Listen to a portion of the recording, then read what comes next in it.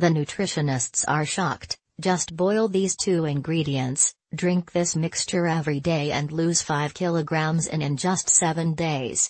Recipe Every person knows that burning the excess pounds can be difficult and long process. But what if we tell you that you do not have to eat much less or to starve if you want to get rid of the excess pounds? Today we will present you an amazing homemade beverage that will help to up to 10 pounds in just one week. This powerful mixture was recommended by many dietitians and nutritionists. Two easy available and simple ingredients are needed for this DIY mixture. A pinch of cinnamon powder and a glass of water are all things you need. It may sounds weird, but this miraculous beverage will do wonder to your body weight and overall health. Instructions Make a mixture between 250 milliliters of water and a teaspoon of cinnamon and let it boil for 5 minutes. Let it cool down for 10 minutes and the drink is ready for consumption.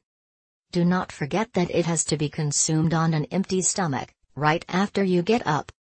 You can also consume it before dinner or in the middle of the day, consume the miracle at least 15 days.